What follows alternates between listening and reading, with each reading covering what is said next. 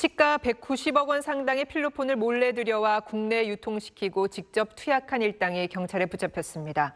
서울 동대문 경찰서는 필리핀에서 8차례에 걸쳐 필로폰 5,830g을 몰래 들여와 유통시킨 국내 유통 총책 A씨 등 8명을 검거하고 이 가운데 A씨와 필리핀에서 마약을 들여온 아르바이트생, 국내 유통책 등 4명을 구속했습니다.